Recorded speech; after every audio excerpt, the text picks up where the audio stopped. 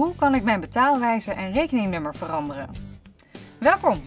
In deze video laat ik je zien hoe je jouw betaalwijze en rekeningnummer verandert. Ga naar mensis.nl en klik op Mijn Mensis.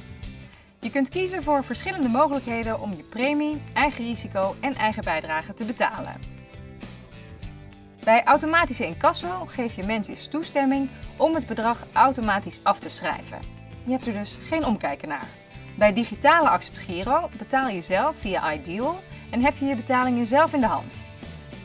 Kies je voor betaling via een papieren Accept Giro, dan maak je het bedrag zelf over en betaal je 1,50 euro administratiekosten.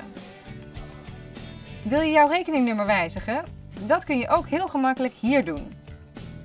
Kan ik je nog helpen bij een andere vraag? Ga naar mensis.nl/klantenservice.